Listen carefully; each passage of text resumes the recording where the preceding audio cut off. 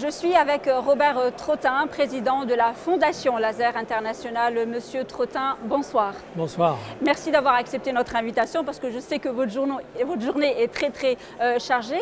D'abord, une première question toute simple. Présentez-nous un peu Laser International. Qu'est-ce que c'est?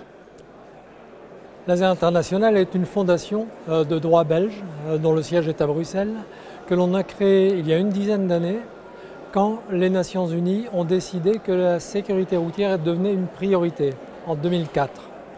Et euh, pour euh, organiser la coopération internationale entre tous les pays, une fondation nous a paru euh, bien adaptée et la fondation développe des programmes éducatifs, des programmes de communication et de l'ingénierie pour développer les politiques de sécurité routière.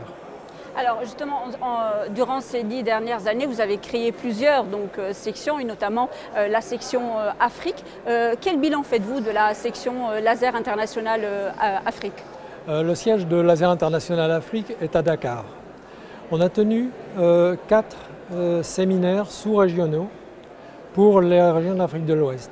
Mais parallèlement, on a organisé à Marrakech en 2010 et à Casablanca en 2014 le Festival mondial de films de sécurité routière. Et ce qui nous mène en relation opérationnelle avec les acteurs publics ou privés ou de la société civile des différents pays où on intervient. Alors, vous parliez de, films, et je préfère, donc j'ouvre une, parenthèse, puisque nous sommes au premier forum donc, de la sécurité routière en Afrique. Il y a le festival de films. Vous avez, euh, bien sûr, vous êtes membre du jury, donc euh, j'ai eu l'occasion aussi de regarder euh, certains films.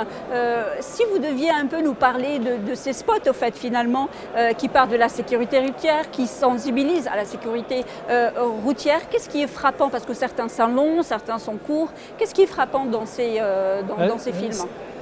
Ce qui est frappant, c'est que de la diversité de ces films, certains pour des spots de publicité, d'autres pour des actions éducatives, d'autres pour des reportages de la sécurité dans l'entreprise, de tous ces films, ce qui ressort de pertinent, c'est qu'ils expriment la culture du pays, la culture des euh, uns et des autres qui font la sécurité routière. Je prends un exemple. On a eu un excellent film du Cameroun où on constate que intervenir en sécurité routière au Cameroun n'est pas du tout la même, euh, ne fait pas appel aux mêmes intervenants ni aux mêmes interventions qu'au Maroc, en Suède ou euh, en Argentine par exemple. Et donc le festival du film dans le forum de la sécurité routière, forum africain, montre qu'il est un des volets d'action d'une politique de sécurité routière. Et pour que ce volet d'action de politique de sécurité routière soit efficace, c'est-à-dire qui permettent d'éviter ou de prévenir les drames que l'on connaît de la route, il faut que les spots, les films, les courts-métrages soient ciblés sur le public qu'ils visent. Et la diversité des publics conduit à une diversité des produits euh, vidéo. Alors justement, euh, je, reste un peu sur euh, cette notion donc, de, culture que vous avez dit par rapport, par rapport au film. Vous disiez donc les actions euh, qu'il faut mener au Cameroun, au Maroc ou en Algérie ou en Tunisie, elles sont toutes différentes. Comment la notion de, de culture peut-elle être aussi un atout dans justement cette sécurité routière. Parce qu'au fait, parfois, on, met en place des stratégies, mais qui ne sont pas adaptables à toutes les régions justement de ce continent qui connaît quand même un taux de mortalité euh, assez important euh, dû aux accidents. Vous avez tout à fait raison. Bien sûr, il faut connaître les statistiques, il faut un observatoire, il faut mais euh, ces actions-là sont inopérantes si elles ne sont pas en phase avec la culture de l'entreprise. Si vous voulez par exemple développer une politique de sécurité routière dans une entreprise qui a 2000 chauffeurs, c'est important parce que les accidents mortels du travail sont pour plus de la moitié des accidents de la route. Mais il faut que euh, la vidéo, que la communication, que la communication interne soit en phase avec les valeurs de l'entreprise, la culture de l'entreprise. La même chose pour une collectivité locale.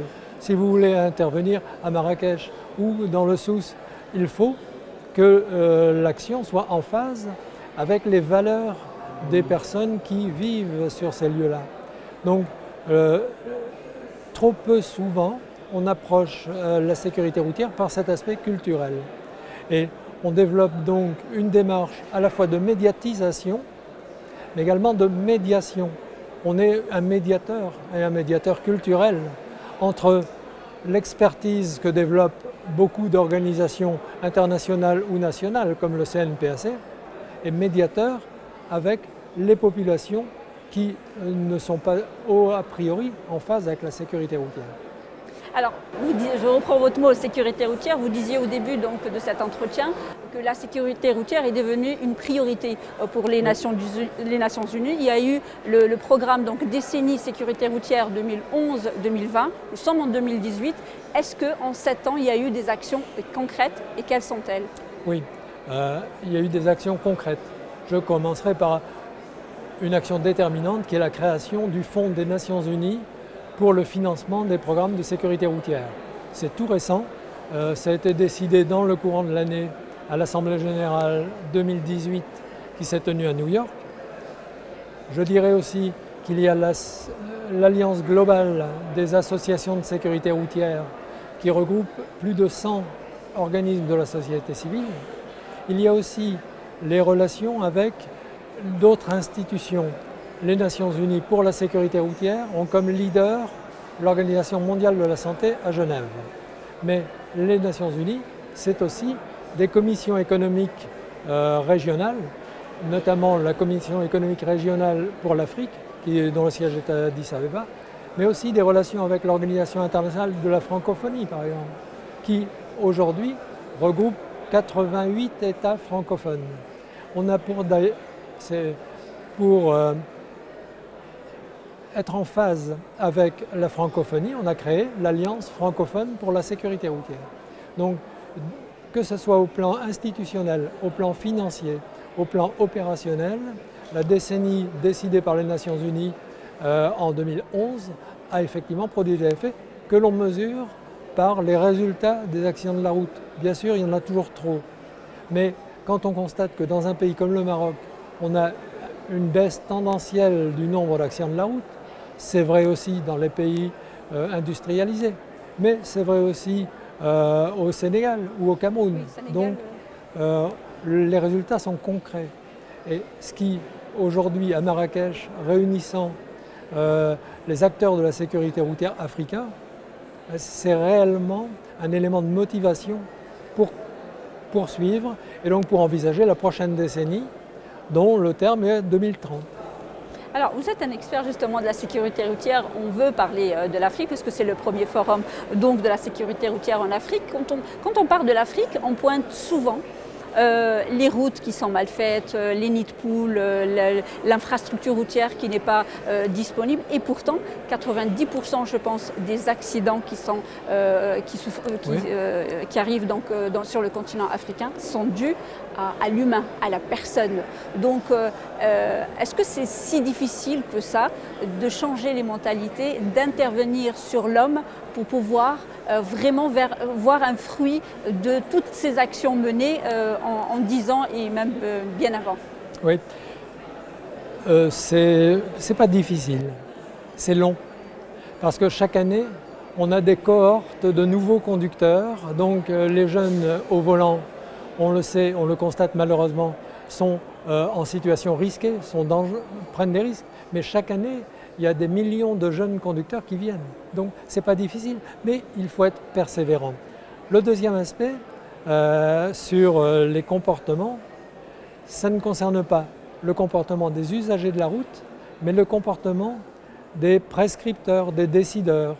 Euh, si on change le comportement ou la représentation des policiers, des enseignants, des médias, à ce moment-là, on voit une mobilisation des décideurs et les leaders qui peuvent agir sur la sécurité routière sont des leviers indispensables pour réussir. Donc ce n'est pas difficile, mais il faut être persévérant et réellement motivé.